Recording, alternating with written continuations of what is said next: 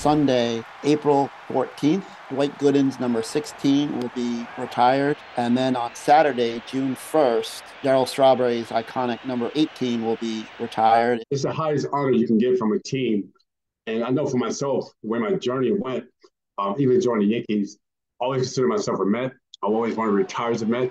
And now I get the opportunity, and I can't thank Steve and Alex and the board enough for giving me this great honor that I can share with my teammates the fans, and my family. So I'm definitely looking forward to this day. And it's the greatest honor that I can achieve in my baseball career.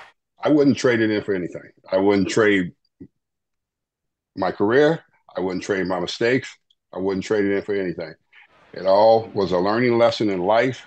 And to be at this place today and to be able to have this honor where your number is going to be retired and that's forever, it's bigger than just going into the Hall of Fame. My heart and soul bleed blue and orange. I always have, always will, because there's nothing like playing in New York. There's nothing like the atmosphere. There's nothing like the fans. There's nothing like being booed and, and let fans letting you know when you suck. And that's part of it because it's, it's either going to make you or it's going to break you. There's no better feeling. I got two strikes on the batter and the fans just stand up clapping when the third strike out. And now to have our numbers up on the Raptors, that's going to be there forever. Something that um, I want the fans to feel like they're a part of that because they played a big part of my success as well as my teammates. You know, and when I look back and reflect on it and, and I look at my rookie season and, and realize how empty Shea Stadium was, and then after that rookie season, it was never empty.